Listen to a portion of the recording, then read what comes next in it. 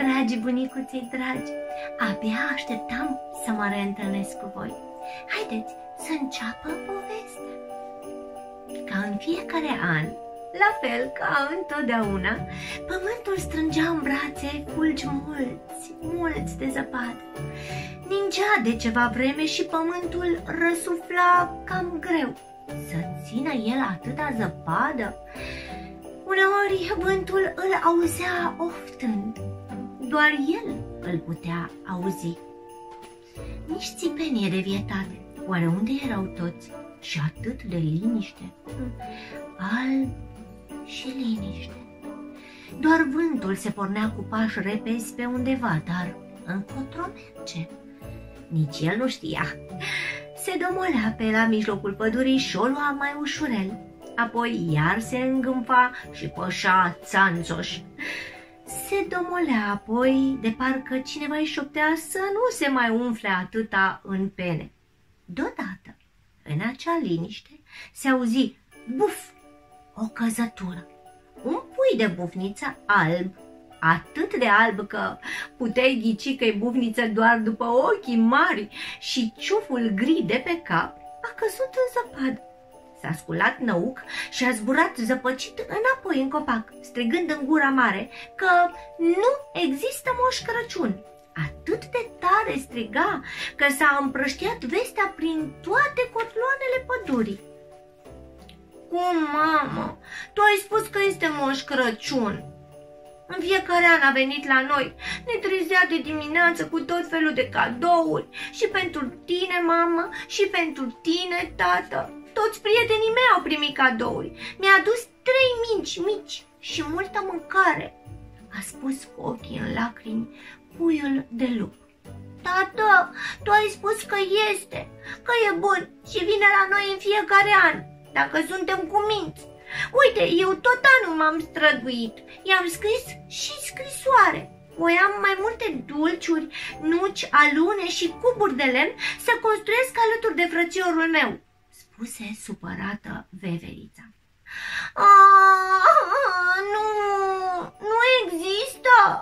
Cine a spus asta? Cine a îndrăznit? Până acum trei scrisori i-am scris. Cum să nu existe? Și scrisorile mele, cine le citește? Vântul? strigă răspicat puiul de vrăbiuță. Atunci vântul, ca și cum s-ar fi simțit vinovat, s-a dat câțiva pași înapoi și nu s-a făcut simțit până seara. Toată ziua, părinții viețuitoarelor se țineau de cap și de urechi. Atâtea zbierete și plânsete nu mai auziră. Nu știau cum să-și domolească pui. La urma urmei se întrebau și ei, chiar nu există moș Crăciun? Acel moș Crăciun care venea și la noi când eram pui?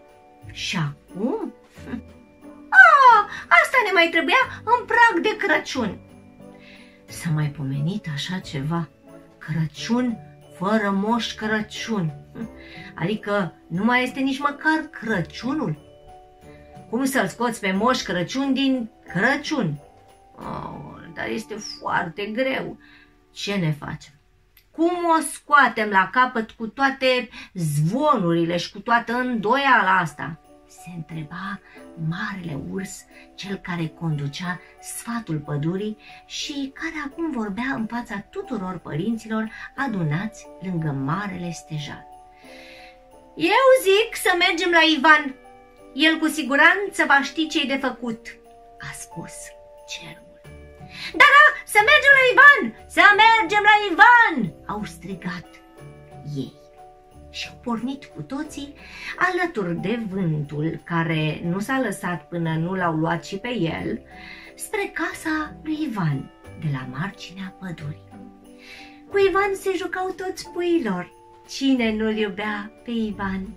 A rămas vreun pui care să nu fi fost scos dintr-o încurcătură de Ivan? Nici pomeneală. Ivan avea suflet bun și iubea toate viețuitoarele. Părinții își lăsau puii la Ivan când aveau de călătorit undeva. Ivan venea în inima pădurii și răsuna tot văzduhul de chicotele lui. Iepuraș, veverițe cârtițe, șoricei pui de lup, de urs și vulpe se rostogoleau și săreau în cârcă. Ba, păsărelele se certau pentru că nu-și mai găseau pic deloc pe capul lui.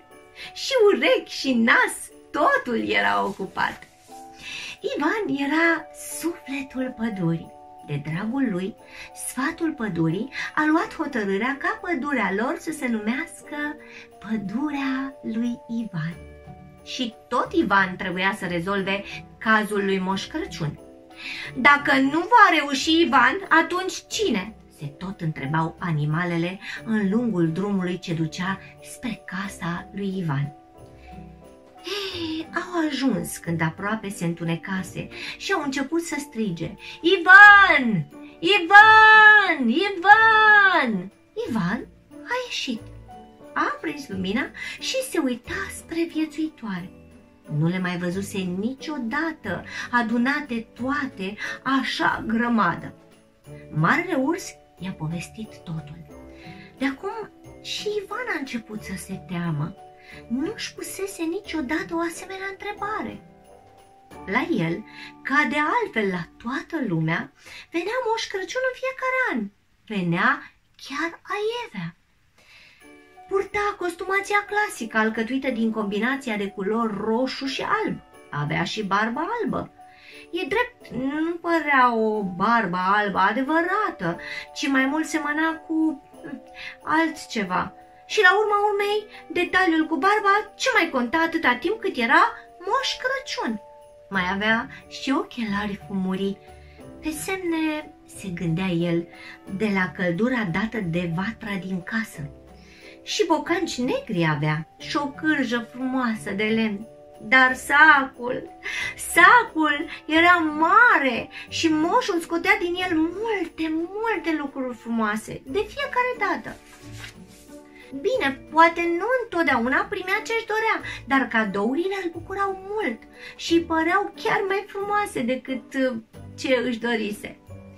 I-am spus și poezii. Anul trecut i-am spus o furnică duce în spate. De data asta am învățat o poezie mai lungă.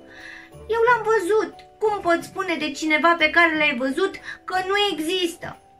Păi, ă, puiul de bufniță a strigat în gura mare și s-a răspândit vestea la toți, a spus mama iepuraș. Poate că e o minciună. V-ați gândit că poate puiul de bufniță a mințit? A întrebat Ivan. Să fi fost doar o minciună? Și pentru o minciună atâta hărmălaie? Și ne-am tulburat noi în zadar? Se întrebă din nou marele urs. Și dacă nu a fost o minciună, că doar noi nu l-am văzut niciodată, spuneți, l-a văzut careva în afară de Ivan? Hm? Noi ne trezeam dimineața cu darurile, dar de văzut, spuse buimac tatăl bursuc. Bine, ați primit cadouri, dar cine le-a adus? De adus cineva le-a adus. Oare nu fi fost moș Crăciun? S-a întrebat din nou Ivan. Ajunge! Prea multe întrebări! Ivan, ne așteaptă copiii. Sunt toți adunați lângă marele stejar. Ce le spunem? Îi privea plină de speranță mama căprioară. Așteptați, mă duc până în casă.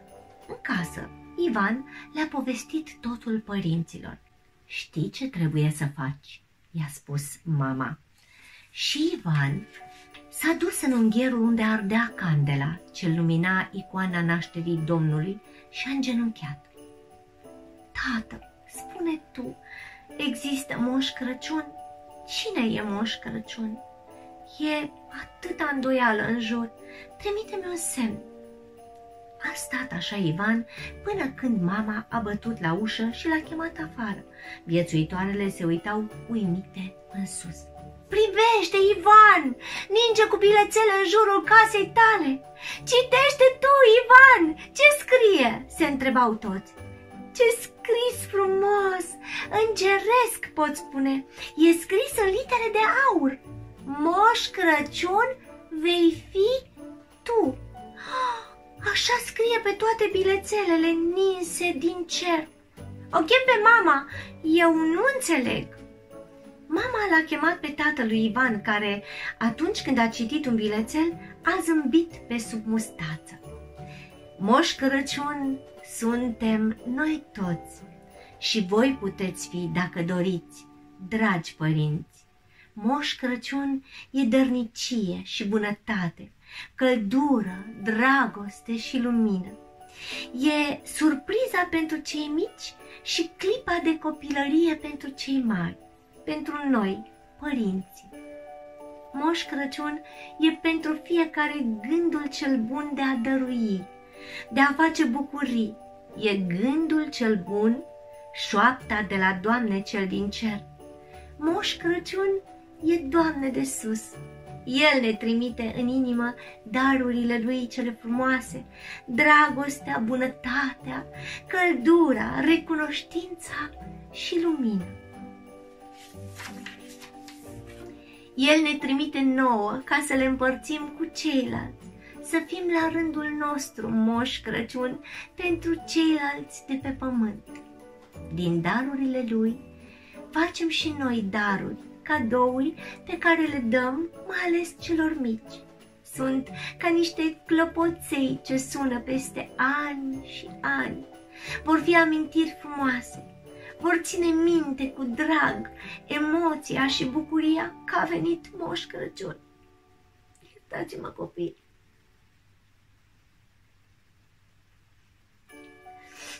mi-am adus aminte și eu de momentul când venea Moș Crăciun. Îmi pare rău, m-a podidit plânsul. Citim povestea. O să o reiau puțin mai de sus.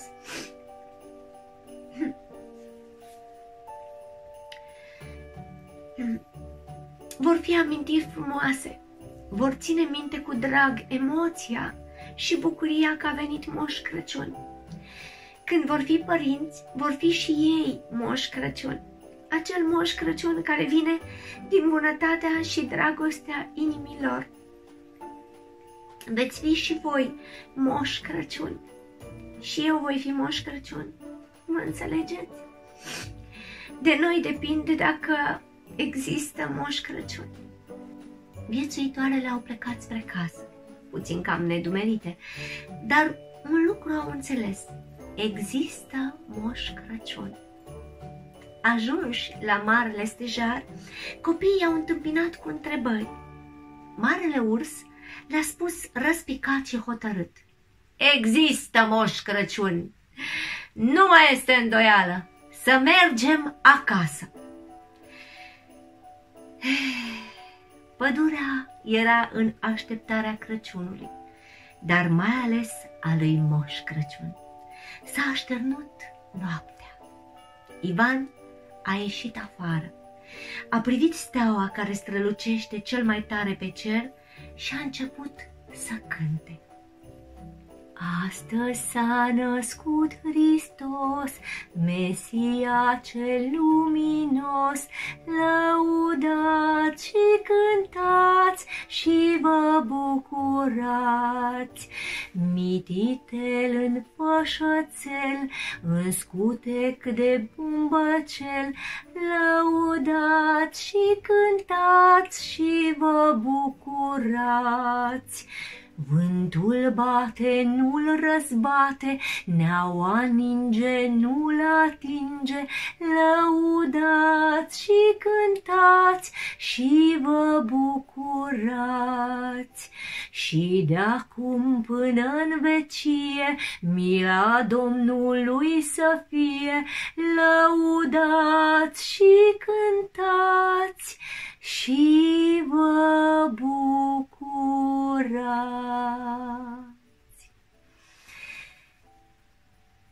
A intrat în casă și s-a cuibărit în patul lui moale. Știa că în acea noapte va veni Moș Crăciun. S-a hotărât să nu-l mai urmărească. Ce importanță avea cine va fi Moș Crăciun pentru el? Știa că va veni cineva și va așeza sub brad cadouri pentru el și pentru toată familia. Astăzi s-a născut Hristos pentru noi toți și vine și Moș Crăciun la mine. Așa cum au venit și magii cu daruri pentru pruncul sfânt. micuț.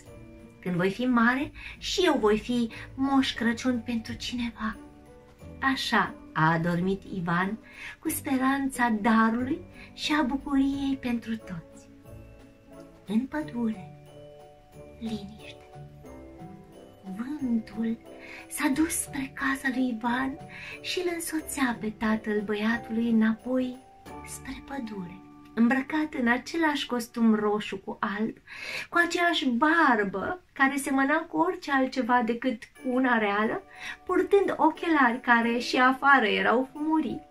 Moș Crăciun stătea pe o sanie mare trasă prin zăpadă de calul lui alb, murgu, alături de un sac mare și roșu. Pe ce strălucea puternic luna parcă din adins voia să descopere lucrarea lui Moș Crăciun. Căruța se oprea des. Din ea cobora Moș Crăciun, care așeza câte ceva jos, la marginea copacilor. Marele urs nu dormea, îl pândea. Pe semne că moșul a strâns tot anul provizii și mâncare ca să ne aducă și nouă, tuturor celor din pădure. Ce moș bun! O fi având și el copii, dar s-a gândit să împartă și cu noi. Oare cine e Moș Crăciun pentru noi? Nu are reni cu el ca în poveștile spuse de Ivan și nu zboară pe cer, dar are un căluț care îl ajută să împartă daruri pentru noi. E cel mai bun Moș Crăciun. La anul voi fi și eu un Moș Crăciun pentru cei din pădurea de răsărit. Vorbesc cu tata lup și cu ceilalți să fie și ei Moș Crăciun pentru celelalte păduri. Oare acolo a fost Moș Crăciun? Noi vom fi cu siguranță la anul, gândi marele urs. El se uita cu chip luminos cum Moș Crăciun se pierde în inima pădurii. Se pregătește să intre în culcușul familiei lui când se oprește și simte o licărire în străfundul său. Acum am înțeles totul. L-am înțeles pe Moș Crăciun. Dimineața s-a deșteptat cu glas răspicat de pui de bufniță. Există Moș Crăciun! Există! Într-adevăr, există Moș Crăciun! Aici se încheie povestea, copii. Există Moș Crăciun, dragii mei, iar noi, noi toți, putem să-l ajutăm, împărțind celor care nu au hăinuțe, dulciuri, jucării. Facem astfel o faptă bună. Vă iubește bunicuța. Să aveți sărbători binecuvântate.